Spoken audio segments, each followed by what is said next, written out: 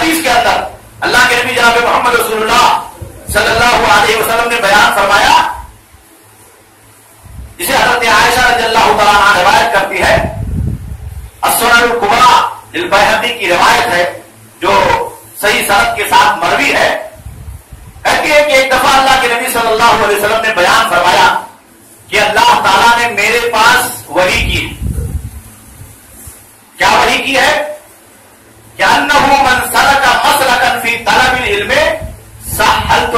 لہو طریقا الى الجنہ کہ اگر کوئی آدمی علم دین کو حاصل کرنے کے راستے پر اپنے آپ کو لگاتا، اب مسجد میں آئے، کوئی پروگرام ہے، اس سے اپنے آپ کو جوڑ رہے آپ کسی جگہ مدرسہ ہے، کوئی جگہ ہے جہاں دین سکھایا جا رہا ہے، وہاں جا رہے ہیں۔ قرآن پڑھنا سیکھ رہے ہیں۔ دین کے احکامات کو سیکھ رہے ہیں، حدیثوں کو سیکھ رہے ہیں۔ نماز کیسے پڑھی جاتی ہے، اس کو سیکھ رہے ہیں شریعت میں شادی بیاہ کا طریقہ کیا ہے اس کو سیکھ رہے ہیں؟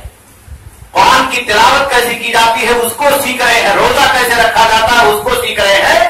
تو اللہ کے نبی نے کہا سہل تو لہو طریق الجنہ میں ایسے آدمی کے لیے جنت کا راستہ آسان کر دیتا ہوں۔